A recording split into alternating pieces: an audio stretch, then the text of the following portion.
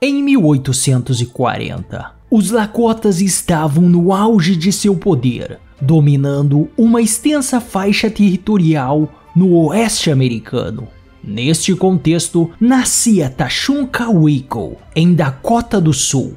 Este garoto tinha uma aparência física diferente dos demais. Sua pele era mais clara e seus cabelos eram castanhos e cacheados características físicas que o tornavam único em sua tribo. Filho de um xamã Sil, seus apelidos iniciais eram Cabelo Encaracolado e Curly, pois os meninos só eram nomeados permanentemente após terem uma experiência que lhes rendessem um nome, e assim aconteceu. Em sua adolescência, após uma batalha com guerreiros araparros, Demonstrando grandes habilidades como guerreiro, seu pai lhe nomeou como Cavalo Louco.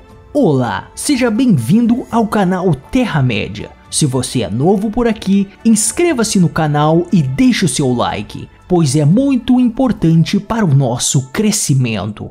Cavalo Louco cresceu e se tornou um índio extremamente belo, cortês e generoso mas acima de tudo, um bravo guerreiro nos campos de batalha.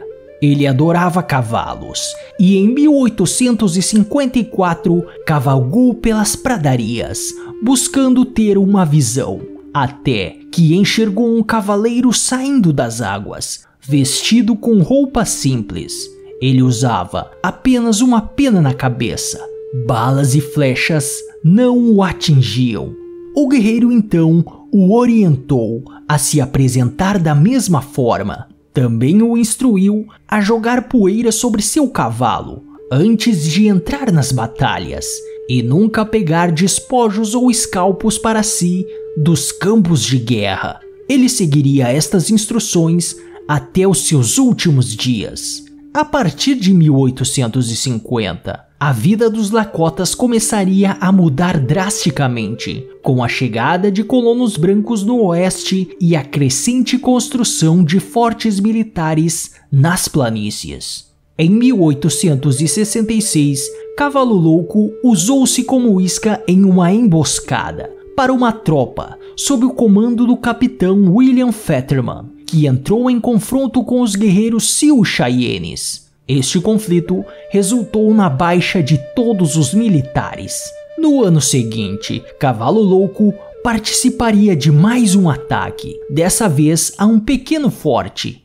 Estes frequentes conflitos acabaram culminando no Tratado de Fort Laramie em 1868, que garantiria aos Lakotas terras importantes, como as cobiçadas Black Hills. Cavalo Louco, assim como Touro Sentado, não assinaram este tratado. William Tecumseh Sherman, um famoso general, visitou as pradarias em busca da paz, que resultou na retirada de tropas que estavam nos fortes.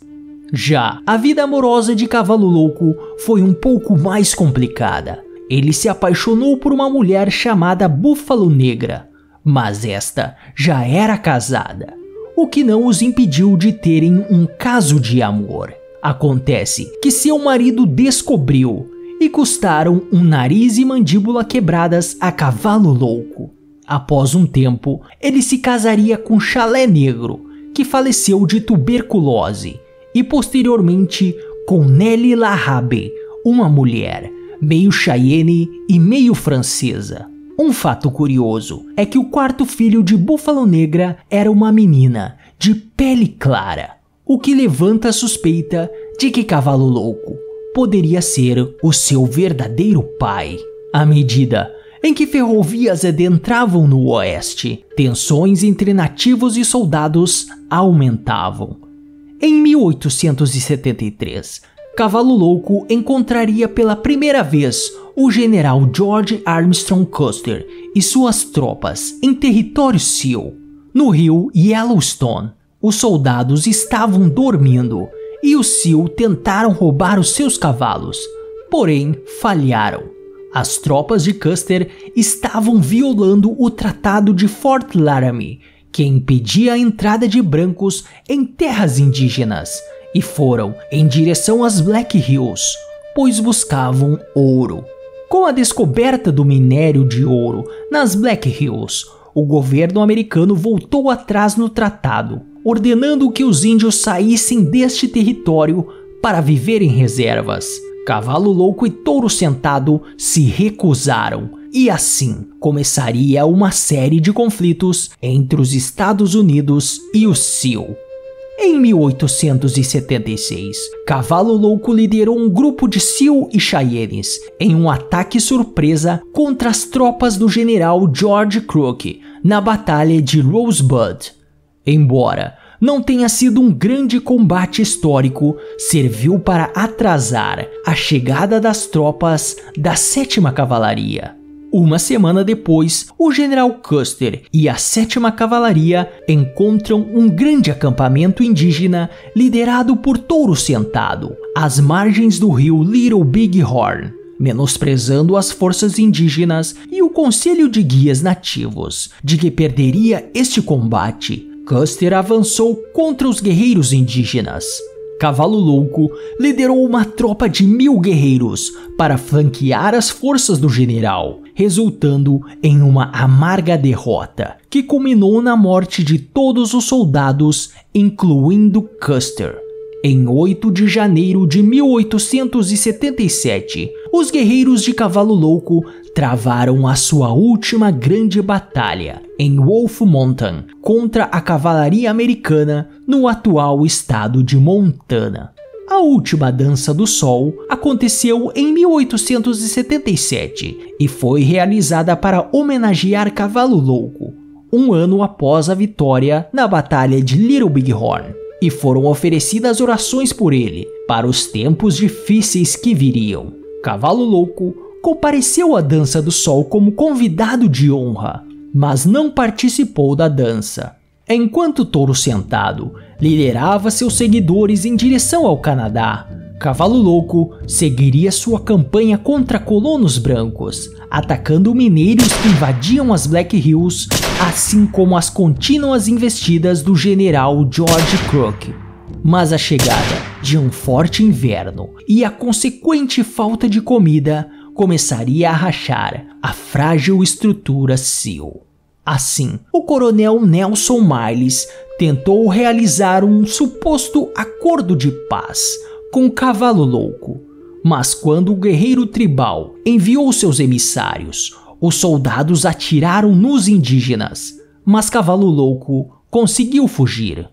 O rigoroso inverno estava acabando com o Sil e Cavalo Louco, sentindo as dores de seu povo, se viu obrigado a negociar com um oficial do exército chamado William Philo Clark em Fort Robinson que ofereceu aos famintos Sil uma reserva em troca de sua rendição. Cavalo Louco aceitou. Ocorre que Clark tentou removê-los para Washington, encontrando resistência de Cavalo Louco. As tensões aumentaram quando o exército buscou pela ajuda de Cavalo Louco em seu conflito contra os nativos Nez e alguns Sioux alistaram-se para ajudar o exército mas Cavalo Louco teria dito que permaneceria em paz após sua rendição. Ocorre que o intérprete do General Crook, Frank Goward, afirmou que Cavalo Louco teria dito que jamais pararia de lutar contra o Homem Branco, o que de fato não era verdade. Porém, quando Crook foi informado destes fatos, ordenou a imediata prisão de Cavalo Louco. No dia seguinte, tentaram levar Cavalo Louco preso, mas ele havia fugido para outra reserva. Mas após um encontro com oficiais militares, ele concordou em retornar a Fort Robinson. Ao chegar no forte, na manhã do dia 5 de setembro de 1877, seu primo, Toque nas Nuvens, tentou alertá-lo de que ele seria preso, mas batedores indianos tentaram o encaminhar a uma cela. Cavalo Louco então resistiu. Foi assim que seu velho amigo Little Big Man e primo distante, que lutou ao seu lado em várias batalhas, mas que agora era um policial indiano a serviço do exército. Tentou o conter, ameaçando-o com uma faca, mas ao mesmo tempo, um soldado americano perfurou o abdômen de Cavalo Louco com uma baioneta, que atingiu diretamente em seus rins. Cavalo Louco chegou a ser socorrido, mas morreu na noite do dia 5 de setembro de 1877, aos 30 e poucos anos, deitado no chão nu em Fort Robinson, no Nebraska. Seu corpo foi entregue a seus pais idosos, que o enterraram em um local desconhecido. Além de sua aparente habilidade mística de evitar ferimentos ou a morte no campo de batalha, Cavalo Louco se recusava a ser fotografado e nunca assinou nenhum tratado com os brancos. O objetivo de sua luta era retornar à vida Lakota que ele conhecera quando era criança, e seu povo dominava as grandes planícies. Mesmo tendo se rendido, ele nunca foi derrotado em batalha. Atualmente, está em andamento a construção de um monumento nas Black Hills em sua homenagem. Iniciado em 1948, perto do Monte Rushmore, quando concluído, será a maior escultura do mundo. Então é isso, galera. Gostou do vídeo? Inscreva-se no canal e deixe o seu like. Até o próximo e valeu!